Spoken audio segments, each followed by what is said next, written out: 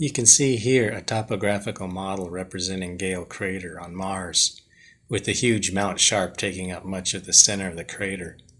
Notice the predicted landing ellipse, the dark ellipse in the center of the picture. Here's another view of Gale Crater and the landing ellipse. We're interested in the dark smaller ellipse here. The goal was to hit a bullseye by landing on the X in the ellipse's center. Also notice the dark terrain at the base of the mountain believed to be sand dunes. The dark area provides an excellent reference point for some of the following images.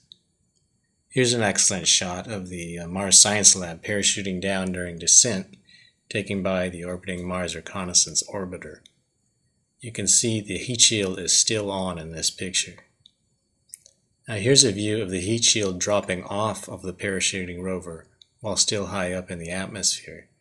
And you can see the dark area of the sand dunes just to the left of the heat shield. Here's an actual shot taken high above Gale Crater that has the landing ellipse superimposed on it. The green diamond is where JPL scientists believe Curiosity actually landed. It's about two kilometers northeast of the Bullseye Ellipse Center. Mount Sharp is to the south, just beyond the dark sand dunes. And here's an actual shot taken from Curiosity of Mount Sharp. You can see the dark dune area at the base of the mountain between Curiosity and the summit.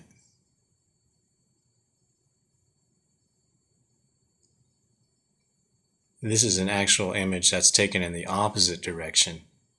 You can see off on the horizon the big crater wall of Gale Crater. This is looking away from Mount Sharp and towards the crater rim.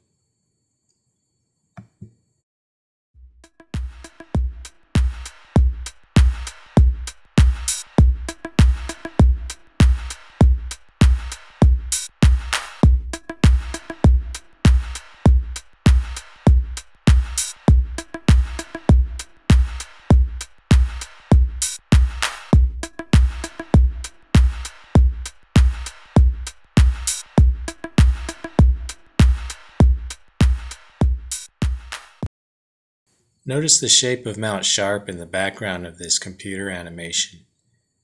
Here's the actual photo from Curiosity. While not exact, the two are pretty close. The rover is obviously very close to its intended landing site. That's all for now. If you enjoyed this, consider subscribing. And as always, thanks for watching.